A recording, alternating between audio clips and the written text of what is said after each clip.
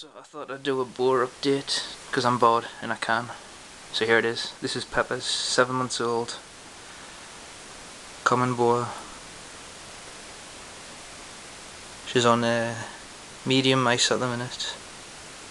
And I think the next month or two she could probably move on to large mice. Yeah. She's my favourite snake. She's really tame. Like most boas are.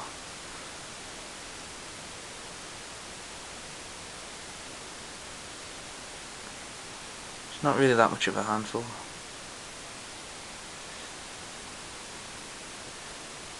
Yeah, see, like she, she's seven months old. She's on medium mice. Sometimes I give her rat weenies. Weenies? Wiener mice rats. Yeah, I think that made sense. Uh, she gets that once a week. She's growing about a centimetre a month I think. It's hard to really measure them, especially boas, they kind of like to fly around a bit. Yeah.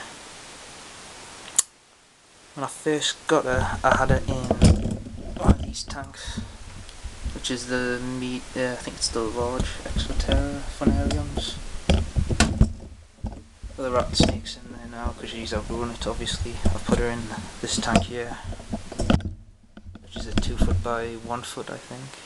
2 foot long and like 1 foot wide.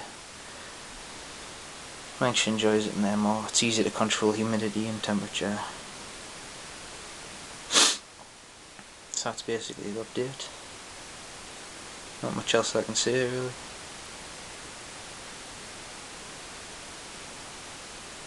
Right, well, bye.